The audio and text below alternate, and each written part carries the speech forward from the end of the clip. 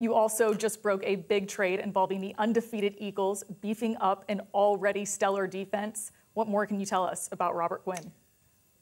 Robert Quinn on his way from Chicago to the Eagles. Uh, the Eagles have a ferocious front. Remember, they added Haason Reddick in the offseason via free agency. They still got Brandon Graham, and they've got guys up the middle in Fletcher Cox, Jordan Davis, Javon Hargrave. I mean, this is going to be a defensive front that is going to be tough to handle for teams. This is a roster with not many holes, and they didn't even have a hole here, and they added even more to it. And Robert Quinn, the Bears are going to pick up seven plus million. Most of the remaining salary for Quinn, the Eagles are giving up a fourth round pick. So it costs the Eagles draft capital, but not this kind of capital.